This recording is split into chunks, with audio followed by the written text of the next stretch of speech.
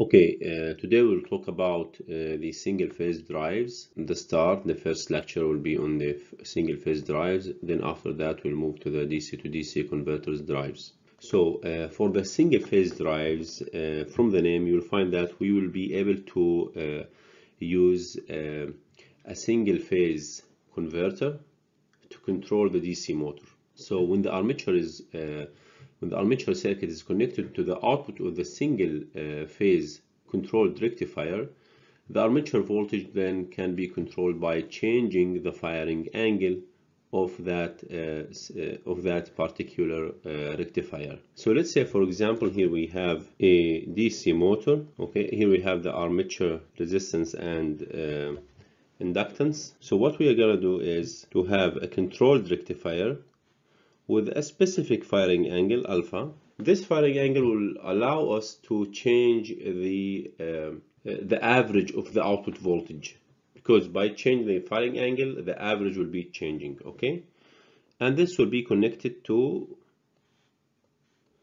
the armature circuit. So the output of the rectifier will be connected to the input of the armature circuit okay? And here we have of course single phase AC power supply Similarly, I'll, I'll uh, suppose that we have another circuit similar to this for the field uh, circuit. Okay, so here we have another field circuit with a controlled rectifier and also here we have single phase AC power supply. Now here we have IF and here we have IA. So this uh, is what we call, we can say that this is a basic circuit arrangement of a single phase DC drive. This armature current, the armature current here, can be discontinuous. Why? Because we have firing angle.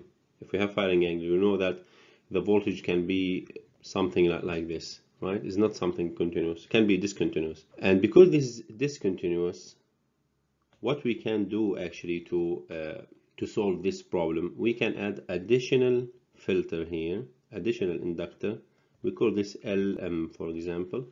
And this additional uh, inductor uh, make smoothing for the armature current. And usually is connected in series with the armature circuit. This to make sure that the armature current is continuous. Now this is the general arrangement for a single phase uh, drive. Now if you remember last time we said we have four quadrants. We have we speeding motoring we have braking. And we said we can either change disconnect or change the direction of the terminals either for the uh, armature circuit or for the field circuit. What we're gonna do actually here in order to change from one quadrant to another we can use uh, contactors and change the direction of the current in each circuit or in one of the circuits to operate at one uh, uh, specific quadrant. Let's have a look here, for example. So here, for example, if you want to change the armature uh, terminals, the armature circuit terminal, what you're gonna do, so this is the motor. Now, by this arrangement, we can just change the switch direction from here to here. So this is switch one, switch two. The field circuit, it can be the same similar thing, or it can be fixed. It's up to you. Once you change one direction, one one terminal, no need to change the other one. The current is flowing in this direction right? By this arrangement the current will be flowing in this direction. Okay so IA can be positive okay? But in this case if the terminal is here it's connected at this point so you'll find that the current will be in the opposite direction right? It will become here and move back here. So the current inside the motor can be either this direction or this direction. Same thing can be uh, arranged for the field circuit. Now let's focus more on this uh, drive, on this control rectifier. This control rectifier can be either full uh, converter drive, which means you'll be able to uh, control uh, uh, the wave, the full waveform, either in the positive or negative side, or semi semi converter, similar to what we studied before, in, just in the positive side. Now each one of these converter has some advantages and disadvantages. If you want to use semi-converter, that's fine. If you want to use full converter, that's fine. But the full converter, because you, you are operating in the negative side, you'll find that you'll be able to change the value of the current very fast, which is important at some time. Let's have a look at uh, semi-converter drive, which appears here. Now, before going to this, I want to make some revision for what we what we have studied before. If we have a sine wave like this, and we have a rectified sine wave, only this portion, okay, with alpha. So the average of this, we obtained before, which is V out is equal to how much? V maximum over pi times 1 plus cosine alpha. Now we said if this voltage comes from the positive to the negative, so uh, in this case for the, for the case of the semi-converter, this one for the full converter, so this is V maximum over pi times cosine alpha. We obtained this before. We derived, we already derived the equations. We already derived the average. Now we will use these values in today's lecture. Now for this semi-converter, let's say that we have VA. This is the input VS. Okay, we have. This is the uh, field circuit, and this is the armature circuit. Each one of these has uh, a controlled rectifier with diode on the output. This diode makes sure that the output is always positive okay which means we have a semi-converter uh, circuit. The voltage VA the armature voltage is equal to how much? It will be something like this. This is alpha and this is pi. And then on the next cycle it will be also something like this because it's a full converter right? Full, full wave rectifier right? So this is pi plus alpha and so on and so forth right? So this is the VA VA is equal to how much? And in this case the average is equal to V maximum over pi times 1 plus cosine alpha. Right? The field circuit all the same thing. Now because the output is a motor a highly inductive load right? So this can be replaced by what? By a current source. We can say that this is a constant IA right? So IA is constant. Now if you look at the input the input current you'll find that here this is alpha pi. So the input I is it should be either positive or negative. But when the diode is conducting here right you'll find that there's some portion comes to the diode right? So for example here the thyristor is not conducting okay? Uh, the, so the current on the diode will be positive like this IA this will be IA the current on the input will be zero but here when the when the thyristor is conducting so we'll find that the current IA the current on the input is equal to IA and here 0 this is minus IA 0 IA and so on and so forth. 0 amperes here here the diode will be either IA or 0 now we said VA the voltage is responsible for what or corresponds to what the speed. Okay so the speed is positive voltage here va is positive no problem. Ia also is positive so the torque is positive so we are in the first quad so it's motoring. So in this case va is positive ia is positive and then we are operating uh, in the first quadrant for the rectifier circuit the only trick here is or the only new thing is we added a diode here to make sure that the output voltage is positive all the time. Otherwise, we know the rectifier, uh, rectifier, uh, full wave rectifier here, no problems. This is well, well known for us. Just we need to link it with the voltage value here, the average. Let's move to single phase full converter drives. Now you find that here we removed the diode. Okay, there is no diode here.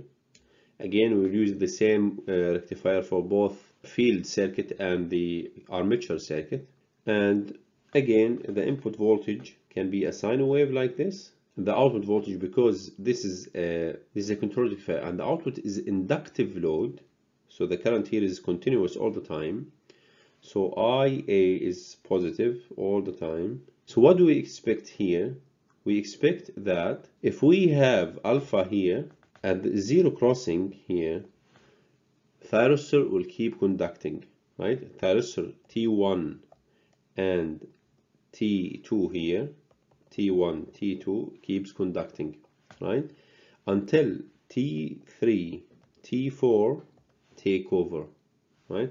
Until next alpha comes, which is on the negative side. once the next alpha comes you'll find that next thyristors will take over okay and then will keep conducting. But from here to here thyristor 1 and 2 will keep conducting and the output will be something like this because the output is continuous current IA okay? It's not a resistive load if a resistive load then yes there is no value here it will be zero. But because we have inductive load so no problems. This will be uh, will keep conducting. Thyristor 1 and 2 will keep conducting. So, uh, at this point when thyristor so here 1 and 2 conducting here when thyristor 3 and 4 conduct right what happens? You'll find that uh, the voltage will be positive and the output will be something like this. Again when thyristor 1 and 2 conduct then the output will be like this and so on and so forth. Now the average for VA is equal to how much? Also we obtain this one so this will be 2V maximum over pi times cosine alpha. Now what we need to look at is uh, the input current at this point. So the input current is equal to how much now? Now from here to here when thyristor 1 thyristor 2 are conducting you'll find that the input current is equal to the IA right? When thyristor 1 thyristor 2 are conducting so the input current is equal to IA this portion. And when thyristor 3 and thyristor 4 are conducting so you'll find that this portion here will be on the negative side. So this will be minus IA and here the same thing minus IA now the question again. We need to watch two values voltage and current VA and IA VA will be how much? Will be positive and negative. And IA is always positive so the torque is positive all the time but the speed can be either positive or negative. So here VA VA can be either positive or negative and IA is always positive. So here uh, this converter works in the first so we have the freedom now. Can can work at first and the fourth quadrant. Now if we reverse the field or the armature this allows operation on the second and the third quadrant. If we change these terminals this or this right so this can be working on the on the second or the third quadrant. Uh, here we have a simple question a simple example. Uh, okay so the example says uh, we have a single phase semi converter similar to the first uh, converter we studied controls the speed of a separately excited motor. The field current is set to the maximum possible value. So here it's very important the field current is set to the maximum possible value. So we need to watch which what is the maximum possible value or when is uh, when the maximum possible value um, occurs. Uh, the AC supply voltage is 208 and 50 Hertz. The armature resistance is 0.25 ohms. Uh, the field resistance is 147 ohms and the motor voltage constant is 0.7032 volt ampere radian per second volt per ampere radian per second. The load torque is 45 newton meter at 1000 rpm and uh, the motor is a highly inductive the field current is continuous and ripple free and the viscous friction and no load losses are negligible so here the friction no no need to care about the friction.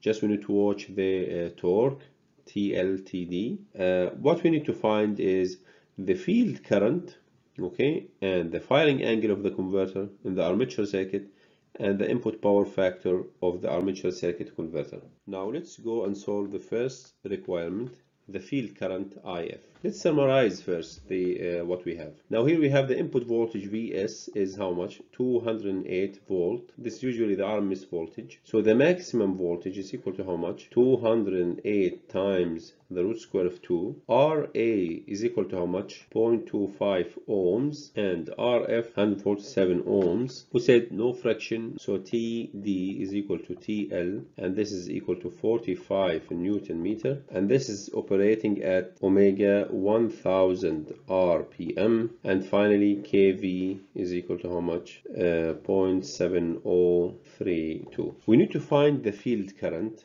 And from the question said uh, the field current is set to the maximum possible value.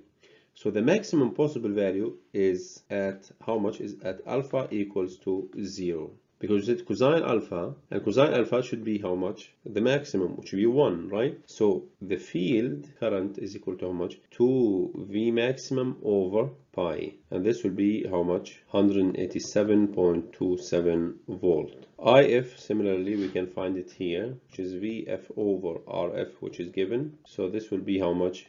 187.27 over 147 and this will be how much will be 1.27 amperes. Okay how to find the firing angle? We know that va is equal to how much? Uh, we can find alpha from this equation. So we need to find va v maximum. To find the armature voltage, if you look at the uh, armature voltage is equal to how much? Is equal to IA times RA plus the back EMF applied on the motor, okay, plus any voltage on the circuit, right? IA is equal to how much? The developed torque over KVIF. Because the developed torque is equal to how much? KVIF times IA. And this is given, all these values are given so this will be 45 over 0.7 something times 1.27. So from here we can say that IA is equal to how much? 50.23 amperes what else we need to find? The back EMF. So EG is equal to KV by definition from last lecture. Omega times IF. So this will be how much? 0.7032 times Omega which is 1000 pi over 30 times 1.27. Now remember the RPM 1000 RPM need to be converted to radian per second Omega. And we said last time just multiply by pi over 30. And this will be how much? 93. 0.82 volt. VA now is equal to how much? IARA plus EG and all these values this uh, we already obtained it this is given. So uh, this will be how much? It will be if you calculate it will be 106.38 volt. Now all these values here we need to substitute here and find the value of alpha so alpha is equal to how much? Cosine alpha is equal to VA times pi over V maximum minus 1. Minus 1 and from this we can say that alpha is equal to how much? 82.2 degrees. So the last requirement, C, we need to find the power factor. Now, if you look at the power factor, here we have two values. There is the power, the R, uh, which is obtained on the input, the RMS uh, voltage, the RMS uh, current, and also there is power which is applied on the uh, armature circuit. Now the power which is applied on the armature circuit is equal to how much? VA times IA. But now we need to look at the RMS values. I now we know the RMS uh, voltage. We need to find the RMS current. For the RMS current, if you remember, the input is equal to how much? Now this is alpha and this is pi and here we have pi plus alpha and so on and so forth, right? So we need to find the RMS value for this square wave. It's not exactly square wave, but we need to find the, the RMS for this value. So RMS, the root square, the root mean square of this value. So this will be how much? IA squared integration from alpha A to pi. If we make square for this, it will be positive. So it's enough to make only for this one, no problems. And we multiply by 2 over 2 pi. Now IA is constant, can be out.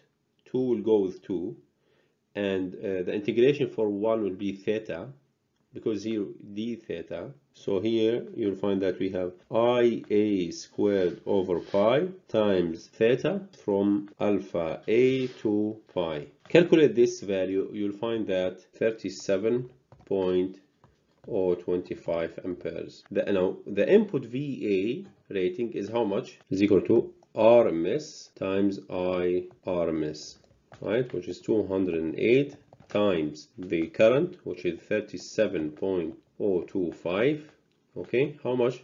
Vi this 7702.24 now the power factor then is equal to how much?